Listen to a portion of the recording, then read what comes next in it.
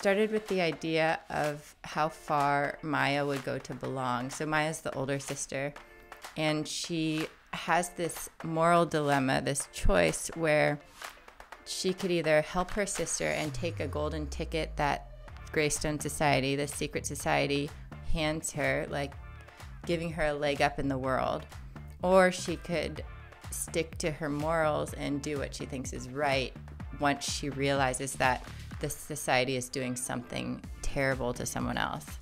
This week, I got to talk with Lauren Ling Brown about her debut dark academia thriller, Society of Lies. I feel like this interview is coming at the perfect time because fall definitely equals dark academia to a lot of us. So, this is a perfect book for you to pick up if that's what you're looking for. Here's what it's about Maya has returned to Princeton for her college reunion. It's been a decade since she graduated, and she is looking forward to seeing old faces and reminiscing about her time there. This visit is special because Maya will also be attending the graduation of her little sister, Naomi. But what should have been a dream weekend becomes Maya's worst nightmare when she receives the news that Naomi is dead. The police are calling it an accident, but Maya suspects that there is more to the story than they are letting on. As Maya pieces together what happened in the months leading up to her sister's death, she begins to realize how much Naomi hid from her. Despite Maya's warnings, Naomi had joined Sterling Club, the most exclusive social club on campus, the same one Maya belonged to. And if she had to guess, Naomi was likely tapped for the secret society within it. The more Maya uncovers, the more terrified she becomes that Naomi's decision to follow in her footsteps might have been what got her killed because Maya's time at Princeton isn't as wonderful as she'd always made it seem. After all, her sister wasn't the first young woman to turn up dead. Now every clue is leading Maya back to the past and to the secret she's kept all these years. This is so fun. It obviously has the dark academia element, it has the secret societies element, and I got to talk with Lauren about how she developed that how this story came into existence and some of her personal experiences that she put into this book. So I can't wait for you guys to hear from her. Let's get into it. So, before we dive into Society of Lies, I did want to get to know a little bit about you first. So, um, when did you know you wanted to write a book, or when were you like, I think I want to be an author? I think I always wanted to be an author in the back of my mind, but I just thought it was this far off dream and I never thought it was possible. So I grew up reading. My mom would take my sister and I to the library. Um, and we had our own little library cards, and it was really cute. And then we also had a bunk bed. So I'd be in the top bunk, and she'd be in the bottom bunk, and we'd both be like reading books together. So, so I grew cool. up, yeah. So I did grow up like loving to read. And then I took my first creative writing class in college. And that's when I really fell in love with fiction writing. And um, I wrote, so I started writing short stories and screenplays and then got into novel writing over the pandemic, starting in 2019. Nice. How did so? I know that you have an MFA in film production and uh, kind of a focus in screenwriting.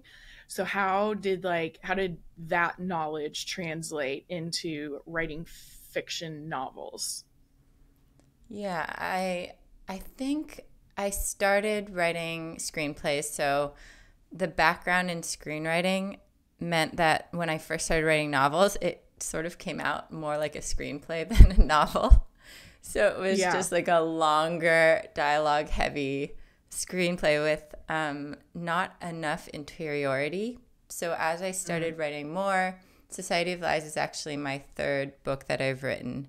So I became better at, um, you know, doing what novels do so well in general, just like giving the character more of an interior world. Um, but I yeah. think still when I start to write a scene, I kind of approach it as like if I'm editing a film or a documentary where I want to see like what's happening and know when to come into the scene and where to cut and that kind of thing. Mhm. Yeah. I have heard I've talked to a couple people who've done sc- screenwriting before. They wrote and I um I think Susan Walters said the same thing where she was just like dialogue, dialogue, dialogue, dialogue. like I had to like think more about being in the character's mind. So that mm-hmm. makes sense. How how did your writing process develop as you wrote as you as you mentioned you've written a few books. How does your writing process look like? So I so badly want to be a plotter, but it always changes. Like it starts with a I have this outline that's like 20 to 30 pages and I'm usually working on it for a year or as long as possible. And it has all mm-hmm. the characters' backstories and it has like complicated plot twists and all these threads. And then I start writing the book and it just goes off the rails and it's never what I had planned. I don't know. What's your experience? Are you a plotter? I know that you write too. Well, yes, I am. I am trying to finish my first story ever. Um, I had an interesting experience with it where I assumed that I would be a plotter. And so I kind of like forced myself to do that a little bit. Um, I read Story Genius and mm-hmm. Save the Cat those are great. And Story Genius, I feel like helped me really understand the emotional through line. Like that, it really helped me understand how you really want that. And then the external kind of reflects the change. So that mm-hmm. helped me a lot with understanding that. And then, but then I was still like, I think I want a little more structure because in other areas of my life, I tend to. So that's when I read Save the Cat, which I thought was so helpful seeing like mm-hmm. all of those plot beats, even if you don't necessarily do all of them the, at the exact percentage that it recommends. Um, so then I got really obsessed with like, I have to, I need to have a complete outline. And so I was doing that and it ended up like keeping me from just starting.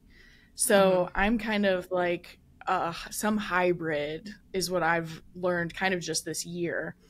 Um, is like I know my like who someone called it tent tent post like you know or tent pole you like know the uh-huh. main things you want to hit and so like i have the main things i want to hit but then i was finding i did better just like writing the in between scenes without like over plotting it yeah i'm exactly the same way like knowing yeah. the major beats and the turns mm-hmm. of the mm-hmm. story without over prescribing what's going to happen yeah, yeah. It it kind of helped. I did a um, I did a challenge with Halley Sutton. Mm-hmm. Um, mm-hmm. In she's June, that was like I love her. I know she's amazing. I everybody loves her. If anyone doesn't like her, it's it's their problem. um, but we did like a it was 14 days where you just wrote a thousand words every day, no matter what. Yes. And it was like nice. doing it that way is what made me realize, like, oh, I don't have to just overly plan. Like, I can sit down and be like, what do I need to convey with this scene? And then then it comes to me. So it's yeah. been interesting. Yeah. Um, so with um society of lies this is definitely mm-hmm. a thriller and definitely has dark academia vibes is was there something that drew you to writing thrillers and like have you always been a fan of dark academia i've always definitely been a mystery fan because i like figuring out the puzzles and the clues along with the character um, mm-hmm. I read like from the mixed up files of Mrs. Basil Frankweiler. I don't know if you know that mm-hmm. one. Oh, good. Yes. I love that one, that book as a kid. Mm-hmm. And just all kinds of different mysteries growing up. And so I think that's why I gravitated towards that genre. But um, Dark Academia, I sort of, um, my first two books that I wrote were different types of thrillers. One was a domestic thriller, one was a thriller about mm-hmm. sisters and then I moved towards dark academia because it was a time in my life where I felt like I was really struggling and also coming into who I really was as a person and understanding myself more. So I wanted mm-hmm. to set it during that kind of time period. Yeah.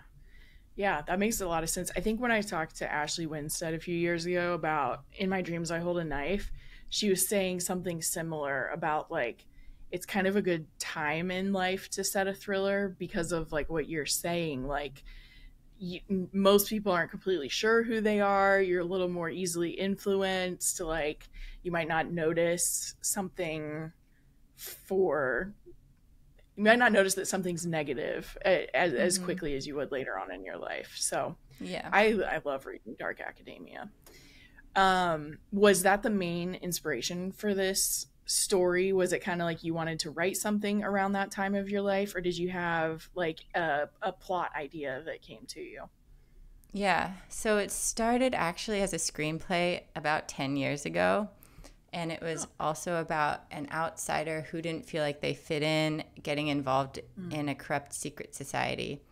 Um, mm-hmm. But the novel version that came out of the pandemic was um, it started with the idea of how far Maya would go to belong. So Maya's the older sister, and mm-hmm. she has this moral dilemma, this choice where she could either help her sister and take a golden ticket that Greystone Society, the secret society, hands her, like giving her a leg up in the world, or she could mm-hmm. stick to her morals and do what she thinks is right once she realizes that the society is doing something terrible to someone else. So it's that mm-hmm. struggle between wanting to help your own family and help yourself and sort of take yeah. the easy way versus mm-hmm. maybe what you should do. Yeah. Yeah. That comes through very much in the book and you're like even as the reader you're like what would I do? Like it's it's hard to even tell like would you do the quote unquote right thing? Would you like help yourself if that felt like the only way that you really could get ahead in certain ways? So that so it was kind of the concept was what was the idea for you mostly. Yeah, and then the other layers definitely came later, like were built on top of that initial um, moral dilemma. So yeah. the sisters were inspired definitely by my experience being an older sister and then by different points in my own life. Like I think of Naomi mm-hmm. as more of who I am now, even though Naomi's the younger sister. She's just more mm-hmm. confident mm-hmm. and, you know, she's happy with who she is. She um, is trying to do the right thing. I think of her as kind of mm-hmm. like the hero of the story. And then Maya is more insecure and still trying to figure things out. Yeah. Yeah. Um, I know in your acknowledgments too that you mentioned that you had a wonderful time at Princeton, so this wasn't necessarily reflective of your experience there, but how did like how did your experience there help or inform writing a thriller that takes place there? Yeah. So one of the things in my author's note that is at the very end of the book is that this story could take place at any university, at any big institution where a corrupt individual and someone with their own agenda sort of has followers and people supporting him and allowing him to get away with bad things. So it's really mm-hmm. not a reflection of the school. It's it's a thriller, it's fiction. I just really want people to know that there are so many good people and hardworking, yes. kind, honest people there who I know personally. Um, mm-hmm. So, but going there, I really felt like I could draw from my experience as a multiracial Black and Chinese woman, and also as from the campus itself because the campus is mm-hmm. beautiful. It has this gothic architecture and libraries. And I was an English major there, and we just, you know, were in these incredible classrooms. Um, with um, reading books and you know studying literature all day and it was just a really cool experience in that way. Yeah. So yeah. Yeah. That's really cool. I'm sure it's like because sometimes like thinking of a whole entire fictional world like setting wise is so much to come up with. So it probably like helps to just kind of like always already have the setting kind of solidified in your mind yeah, I for me it's harder if I haven't been to a place to write about it, so I like to mm-hmm. at least visit and hopefully spend a significant amount of time wherever I'm writing about. Yeah. I hope you're enjoying this episode of Bookwild, and if you are, could I ask you a favor? could you go and rate and review this podcast on whatever platform you're listening? Ratings and reviews make the biggest difference in discoverability of the podcast, and I definitely want to find all of our fellow thriller readers out there. So if you could go rate the podcast and leave a short review, that would make a huge difference. Thank you, and let's get back to the show. The other thing that I loved about it, because I love this in almost any book, is that there are two different timelines. Did you write like chronologically? Like, did you write what would have happened like on a calendar? Um, that kind of order, or did you write in the order that the book is in, alternating? That's a really good question.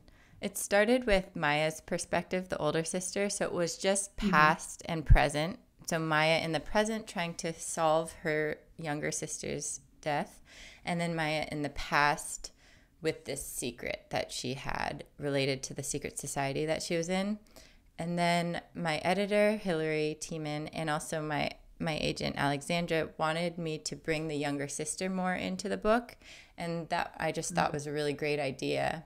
So we mm-hmm. added the younger sister Naomi's perspective later during the revision process, and this nice. book went through so many drafts. I can't even I can't oh, even yeah. tell you. yeah. I mean, I'm sure that happens with all like with tons of books, but I did mm-hmm. it did help. Like I was no, they you know from the synopsis that Naomi ends up murdered. I was like, wait, am I about to give a spoiler? Um, I was. It's sometimes I'm like so sad when I'm like in their perspective because I like know where it's headed. Right. But I also loved getting to have her perspective, like not just Maya figuring it out. Um, but you kind of mentioned earlier you were a little bit inspired to write about sisters um, since you have a sister as well mm-hmm. but that that dynamic between the two of them was really like thought provoking and they were both really distinct as characters and what i thought was kind of cool that you played with too is like sometimes maya would be doing something that like in her mind really was for Naomi's good and Naomi mm-hmm. would be interpreting it a totally different way. So, how did you approach kind of like having them be very separate characters where they even kind of mis misinterpret each other? Yeah. So, my sister is three and a half years younger than me, and we mm. were really close growing up, and we still are now. But there was a period after college where we moved to different cities and just grew apart, and we're trying to have, you know, phone conversations where maybe I would give advice and I shouldn't because she's now an adult, you know, but I just yeah. I just remember that feeling of like disconnect and wanting to be um, closer than we were at the time. And then she was really there for me over the pandemic when I had a tough time in my own life. Um, mm-hmm. And so that feeling of like coming together as well. And so I just really wanted to show kind of the complex nature of being a sister and mm-hmm. caring so much about someone but not always like having the words for it. Maybe you don't come from a family that always says i love you or gives hugs like all the time. And so yeah. so yeah i i definitely thought a lot about my sister while writing those the two maya and naomi's relationship. Yeah. Yeah you could feel the sisterly tension for sure but they kind of both still wanted the best for each other and for themselves but like sometimes that's still tricky to navigate for the most part mm-hmm. the book also really explores how uh alienating or like how uniquely isolating it can feel to feel like you like come from two different cultures but you're not necessarily 100% one or 100% the other so you mm-hmm. kind of live in a middle space so, were you writing from like some of your experiences with that as well? Yeah, definitely. So, my mom is Chinese and she's originally from Hong Kong, and my dad is African American and he's from Minnesota. But they, growing up biracial, I just definitely didn't feel like I fit in anywhere, especially in high school and at a young age. And so mm-hmm. it was really important to me to draw from that authentic experience and a lot of the microaggressions or things mm. to do with race and identity in the book are definitely drawn from a true place of things that happened to me or to my family. And I just find it interesting to sort of put those things in the thriller mystery genre and see see if people are okay with you know like ready for for that and ready to discuss like deep kind of difficult subjects. So that's mm-hmm. that was my goal is to combine yeah. the entertaining thriller with with deeper real issues. Mm-hmm. That's my favorite in thrillers when it can do both. So i'm sure that's why i loved it it's a big part of why i loved it.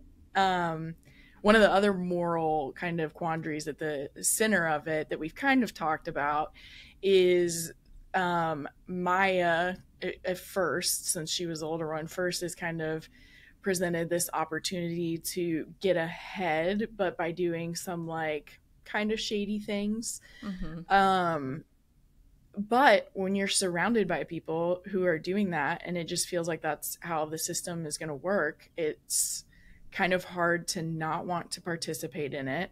And then Naomi kind of had a, was a little more strong headed about her own opinions, basically, mm-hmm. not just always going with the flow. Um, so it sounds like you kind of wanted to do that concept itself from the beginning, but did you know you were going to kind of use the sisters to contrast like the different approaches to that? Uh, I I guess I just knew that they were really different people. That Naomi was mm. this confident, bold, strong young woman, and then Maya was more easily manipulated. And so, mm. yeah, that I guess that's kind of just what I had in my mind. And then as mm-hmm. I rewrote scenes, because I like to rewrite the scenes over and over again, I think mm. I built more of their complex personalities hopefully yeah. into it. Yeah. Yeah, you can you can feel it cuz it's like you switch between timelines and you switch between characters, but I always felt like I knew like who the main character was of the chapter even if I'd like put it down because they did feel That's so good. separate themselves. I guess yeah. what's tricky was that they were their um the places that they're in and the other characters around mm-hmm. them def do overlap. So it was mm-hmm. kind of tricky to balance like how much do I want their stories to mirror one another and how much yeah. do we want to make sure they're unique. Yeah.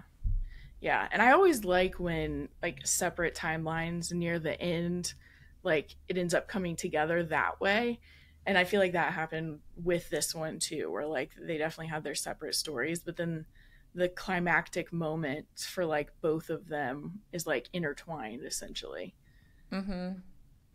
That yeah. was actually my editor's idea to have the um that climax mirror Maya's storyline as well. Like yeah. the the worst moment for Naomi mirrors a bad moment for Maya. Mm-hmm.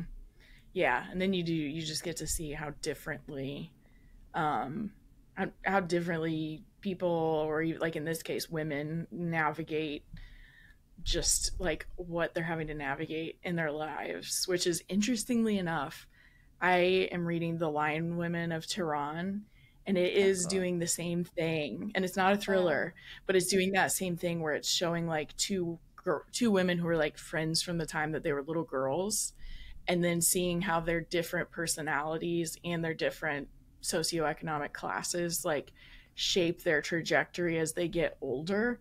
And i do think mm-hmm. it's just fascinating when books can do that. Like it just it, it, i think it's kind of a reminder that like not everyone acts the same way. It, but it could still seem justifiable from either way. Yeah. I like that yeah. when there's complex characters. Those are the types of books i like to read or when yeah. it's you know a woman's story or a complex story about this character who you can see why they're acting this way, even if it's not the right thing, even if yes. you don't agree with them. Yeah. Yeah. Yeah. It's, I've been on this kick of talking about how books also help us like develop more empathy. And I feel like that's mm-hmm. kind of like, what happens in these scenarios where like sometimes even if you're like oh why is maya doing that like you actually know why she's doing it, even if you wouldn't always make the same decision. Yeah, I totally agree Yeah. with you. I think reading is so important, especially Mhm. for people who are, you know, kids and teens and, you know, everyone really to develop more Mhm. empathy and see from other people's perspectives. Yeah, totally. Mhm. Well, speaking of reading, have you read anything recently that you've loved? Yes, I have so many recommendations Nice. right here. So here's another Dark Academia. It's Where Sleeping Girls Lie by Faridah Àbíké-Íyímídé. And it's about Yes. um you've read it? Have you read it or heard of it? Yes, I have. Oh, Mhm. cool.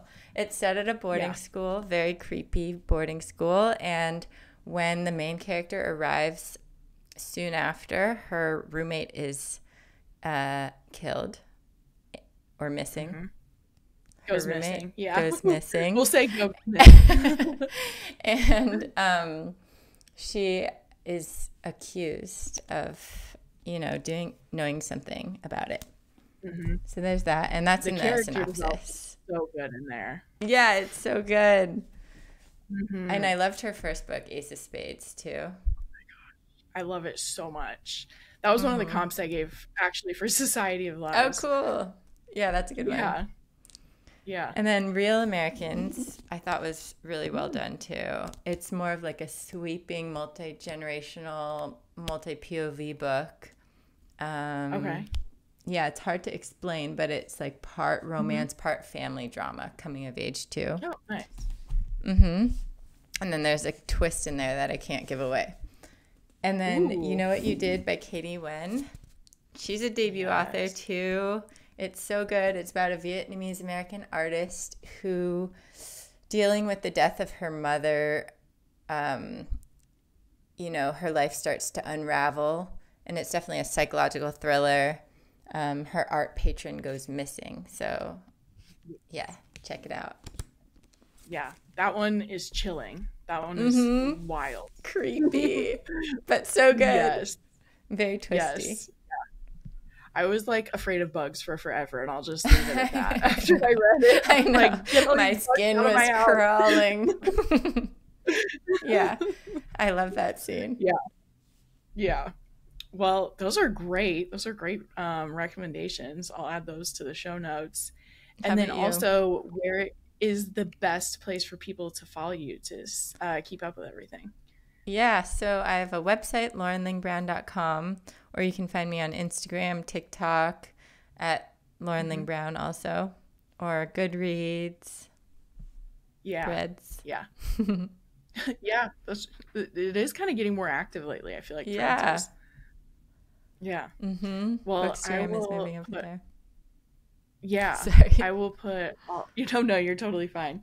Uh, I'll put those notes in the show notes for everyone. And thank you so much for talking with me. Thanks for having me. It was so fun.